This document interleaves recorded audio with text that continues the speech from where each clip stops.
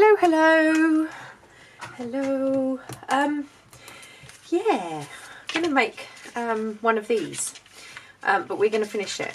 I've started these two um, just to see what I kind of thought, and I kind of like it, and I have it. Uh, I have a vision in my head, so I'm just gonna do what's in my head, if that's okay. Obviously inspired by the marvellous Wendy from Wendy's Journals at Wendy's Journals Journal Adventures. Sorry, I can't talk properly.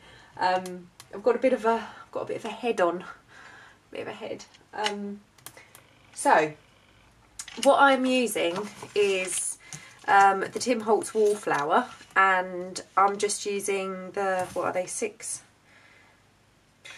I don't know, just over six inches, just over 15 centimetres.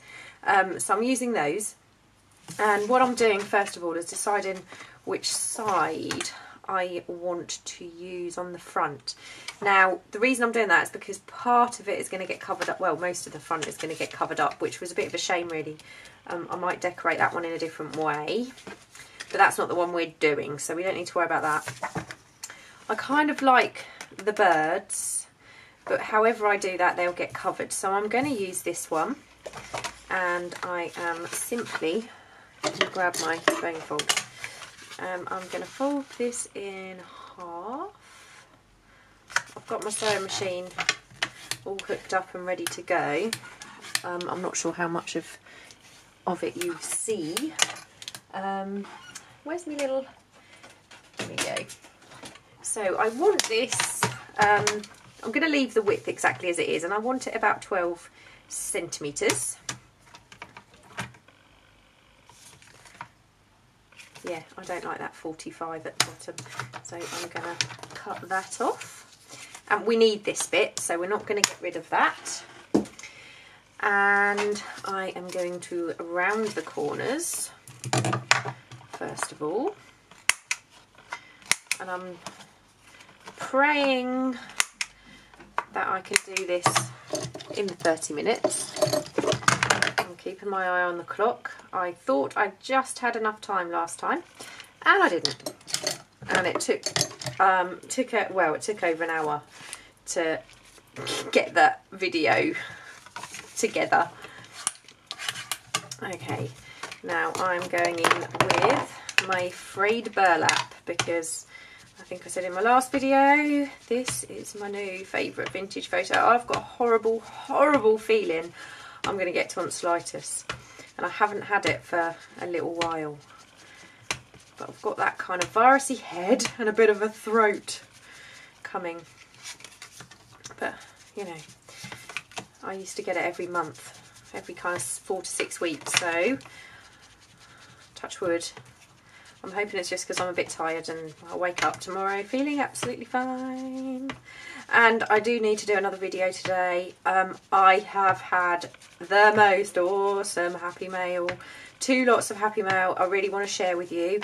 Um, and basically I really want to open it because I haven't haven't opened anything yet. I've opened the boxes and had a little look. But I haven't opened any of the packaging so I don't know what's in them. And I just want to know. Want to know. Right, so I have cut a piece of craft card and it's 10 centimetres by six and a half centimetres to go inside here. So it's 10 and a half, no 10 by six and a half. And I need my, I need my, my little ruler and I need my little fox pencil.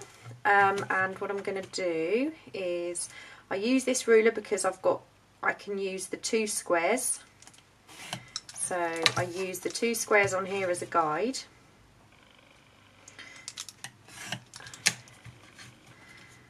And I'm hoping I'm going to have enough time to make the tags to go in here. I'm going to come three down from the top, three squares down, and then three, three again. Oh, and now there's someone at the door. Awesome. Please don't be visitors. Please don't be visitors far too busy. Okay, so I'm going to line this up and I just line my wire up with that first line. Now this is where it gets a bit difficult because I usually stick my head right over. And it doesn't matter if these are not absolutely perfect because they kind of go in the go in the file folder and we put tags in them and you can't really you don't get a perfect look anyway. That's pretty good. Apart from the fact it's a it's a little bit rough on the edges but I don't mind that. And that's because of my paper trimmer. Um, and when I cut these out um, I lined it along the top line and it isn't flush. It's not square. So um, I tried it on both of them and just to prove I had to hold the paper or move the paper slightly on the her to actually cut a straight line along the guidelines that Tim Holtz provides. Well, he doesn't, they're not guidelines, are they? They're just where the four different images are sitting. Oh, we have some serious rain. Right, before I... I haven't done a very good job of that.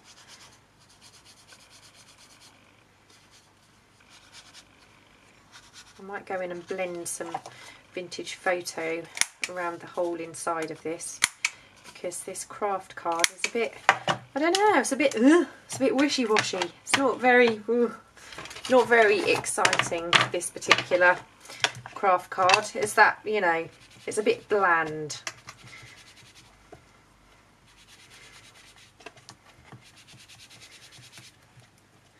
Just give it a little bit of a of an ink to liven it up a little bit. I don't know if it's really livening it up, but I'm going to go around with my frayed burlap to give that a dark edge.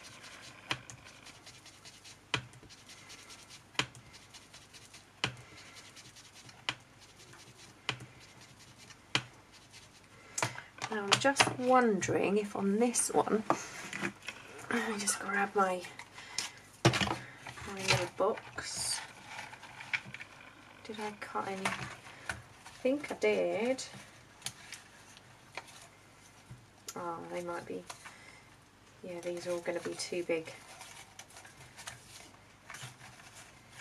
Oh well. So, now I am going to be doing some sewing, so I wonder if I should I think I'm going to stick that down after I've sewn but what I am going to do is put my tabs on first. Now if you've got a piece of card um, let me just grab a piece and I'll show you because what I've figured out with this um, punch can you hear the rain? It's really really heavy. Let me just cut this out.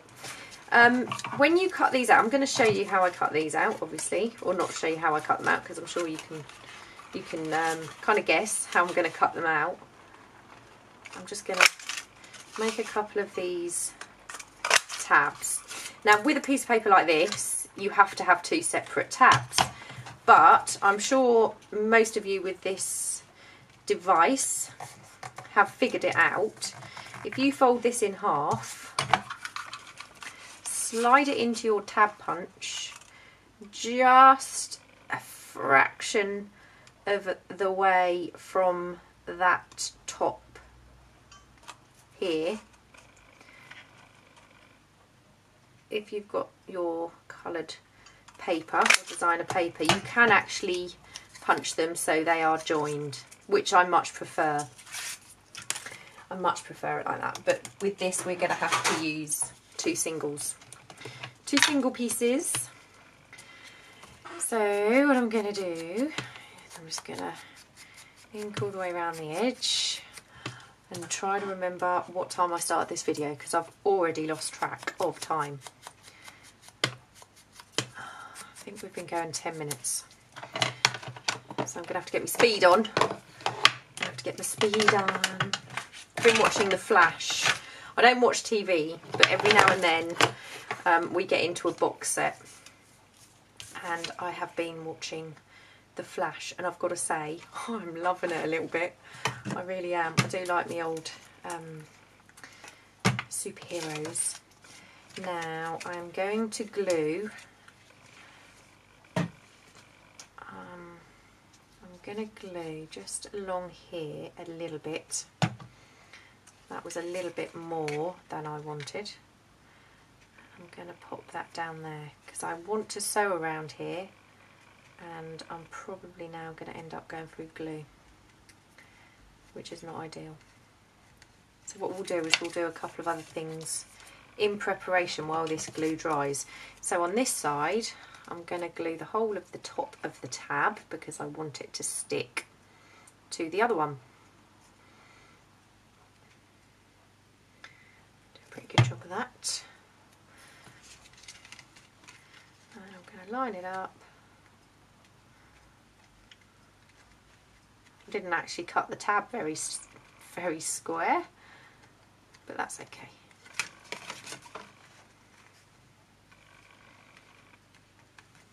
There we go. So while that is drying off a little bit, I'm going to make the image I want to put on the front here. And I've got some of my country garden and I've printed them four pages per page. So that's that should be an A4 page. And I'm not sure whether I want to, no, I don't think I want to tear that. So, which image should I go for? Quite like the daffodils. I think that will brighten up brighten up this cover a little bit. And I just did a really bad job of cutting that. That's not straight line at all.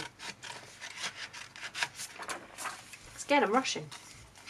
I'm rushing. Yep, that's not straight. Not even a little bit.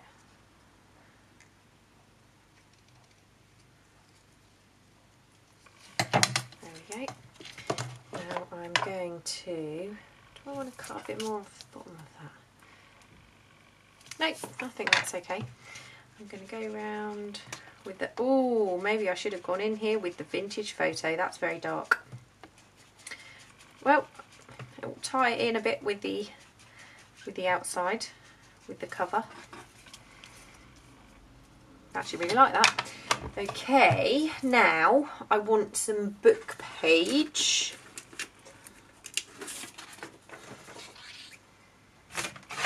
um, where's me where's my tear ruler here it is um, I'm gonna have to go for this top bit I think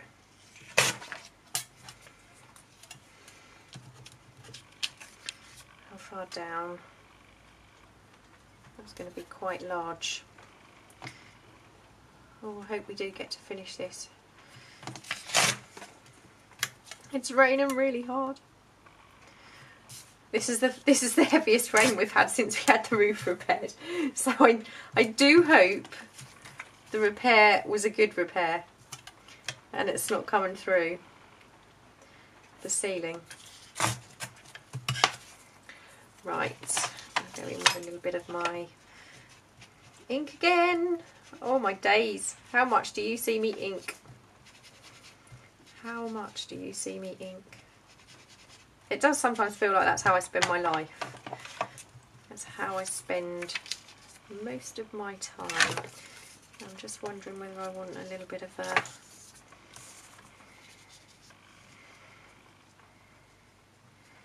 little bit of an extra extra bit.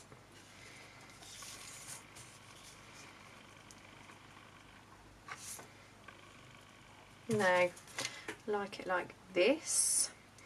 But what I am going to do is because this book page is it's fairly fairly flimsy, I'm just going to cut a little piece of paper, or it's I think oh what is it? Um, it's a heavyweight paper lightweight card. I'm not sure I think it's around it's either 120 or 160 GSM I never remember. I have both I think. Do I? I don't know. It's one of those things that you I'm not 100% sure about. So I'm just going to glue this on the back of here. And it's just to give it a little bit of stability. Um, because it leaves massive holes if you go straight through the well it doesn't leave massive holes but they're bigger than I want. So you won't be able to see any of that I'm gonna just put a little bit of glue on the on the in the middle because I'm going to sew around the edge. I haven't actually checked the lighting. How am I doing?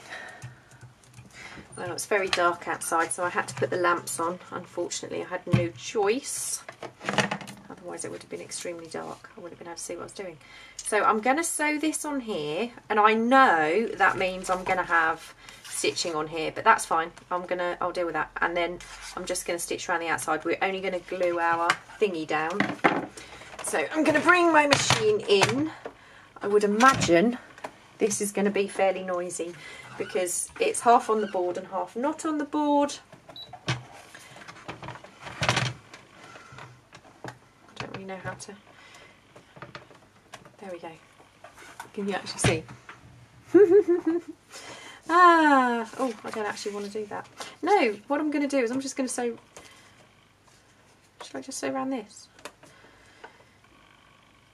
Maybe I'll just sew around this. I'm hoping it will, right, I'm going to change my stitch to zigzag. Um, go a little bit smaller. Right, let's see. Oh, that's not as noisy as I thought it was going to be. I thought it was going to be really loud. well,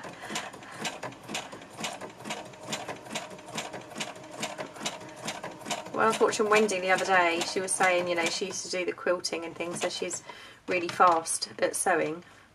And um, I actually don't sew too quickly right now because my machine is on the hook. And my desk vibrates quite a lot as well when I use the sewing machine here. I have started using the sewing machine at the dining table, which is right behind me. All I have to do is spin my chair around. But that doesn't help really while we're while we're doing this. Just speed that a little bit up.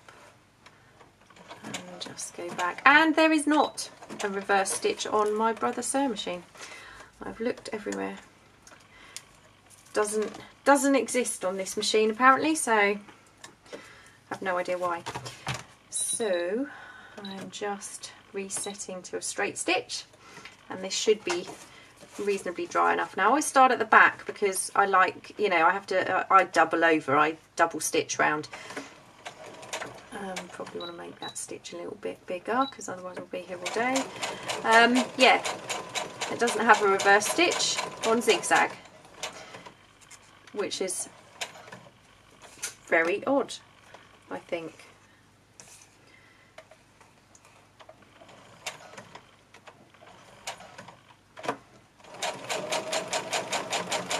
I'm using a dark green for most of this um, this journal and the tags and things so um, I'm just sticking with that dark green for this right I'm going to go a bit slower through here one because there is a possibility I'm going through glue, plus it's a bit thicker.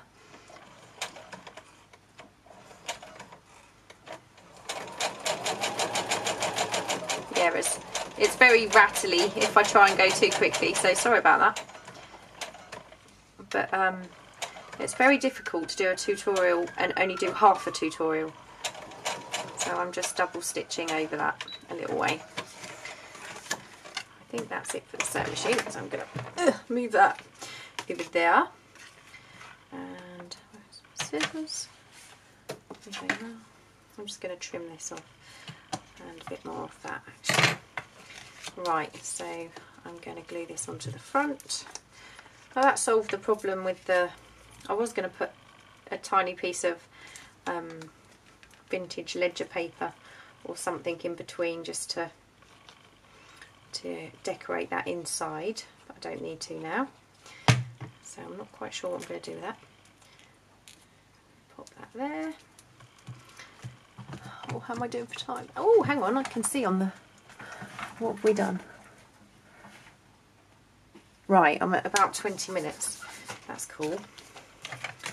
Right, so that gives me about 10 minutes to knock up a couple of tags.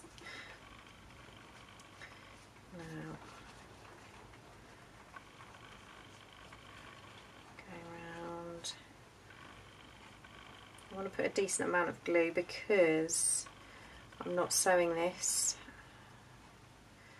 There's going to be no sewing and I know I can come along to that line because my my slit isn't that far.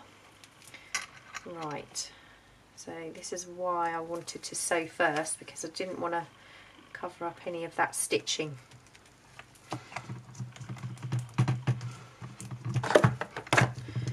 Okay. So I will have to decorate here. So the next thing I want to do is this is this is probably too thin. What have I got here? More craft. Uh, this might work. Right, now I've got this punch. It is Artem Artemio. Artemio. Um, it does the holes and you can do one and a half inch, two inches or three inch tags. I see how? Right, so what I need to do is cut this. I'm going to do it on the smallest one. I'm going to do it one and a half inches. Um, so I'm going to line this up.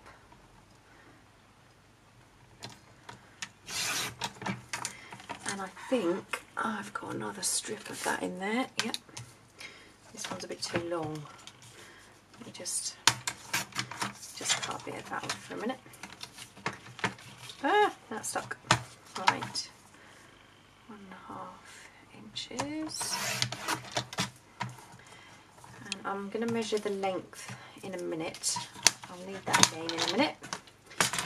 So this is a, you know, this is a real kind of show you strength kind of thing. And the thing is, it doesn't fit perfectly. You cut it to one and a half inches and it doesn't fit in that slot perfectly. And you really do have to squeeze this. But I want three, three tags. So what I'm going to do is I'm just going to spin that round and do the other end. And I can't tell you where to get this from because I bought it from my local little independent craft store, Craftability. Hi ladies. Um, so I, I, I wouldn't know where you would get it from anywhere else other than the lovely sunny rainy Ipswich right now. Okay, so I can get rid of that one. Uh, I've had this for quite a while, but it's one of those things I've said to, I've said before. You kind of have knocking around and you never use. You put it away and then um, you find it out again and it's it's your new favourite toy again. So I'm going to cut that one there and I'm hoping that's going to fit in my back slot.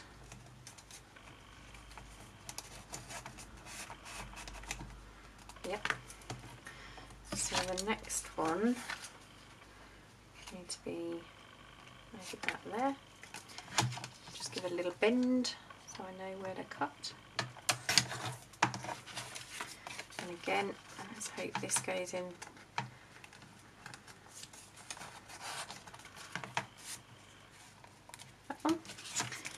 And this one, same again, about there.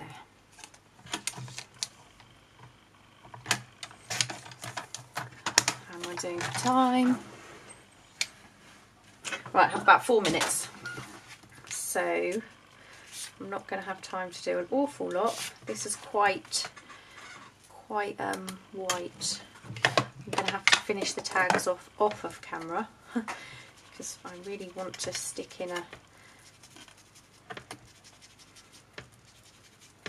stick in a thing, you know, um, one of those holes like the lovely Wendy does.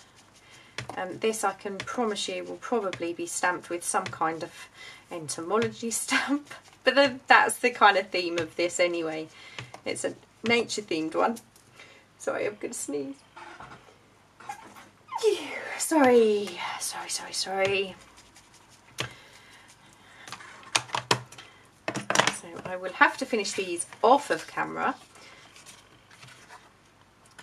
And I will have to finish decorating the, the slip pocket.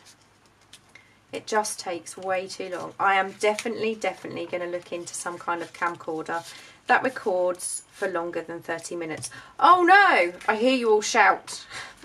we don't want videos longer than 30 minutes. Um, but yeah, sometimes you just want to finish a project and you just don't have time. So they can be, you know, you can put your little do me flip in there. Right, so let's get this race against time going. Make a hole. and I'm gonna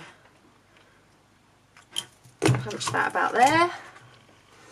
Um, Wendy does this with a lot more finesse than I do.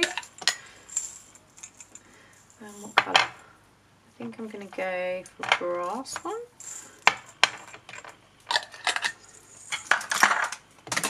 Whoops. Knocking everything around.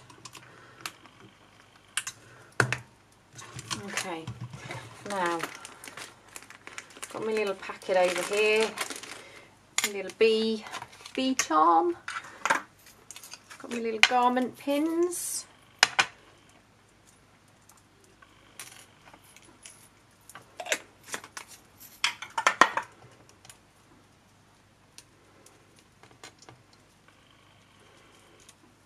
I'm not sure that garment pin is going to be the right thing to hang this with, but I'm going to try it for now. Maybe, actually I think it will work, just need to spin that round. There we go. No. Nope. Right, I'm probably going to put this on a jump ring, but I'm running out of time. So, oh no, look, it does. Works perfectly. It hangs off the end. And what I'm going to do is I'm probably going to have that hanging out the side of the journal. So it's not completely finished, but we have a little Wendy style file folder. Oh, it has got really dark, hasn't it? Let me see if I can. I'm really hoping you could see everything. Um, so we've got our little bee and we've got our little um, bits and pieces little pocket in here. Um, it still needs a bit of work done to it, but um, you will probably see the finished product either on my Instagram, probably on my Instagram, and obviously in the finished journal. So I will see you in a bit with some happy mail, providing the light improves because it's chucking it down out there. Thank you so much for watching. Um, I hope you found this uh, interesting, enjoyable, and thank you so much again for your comments. I love you all. See you later. Bye.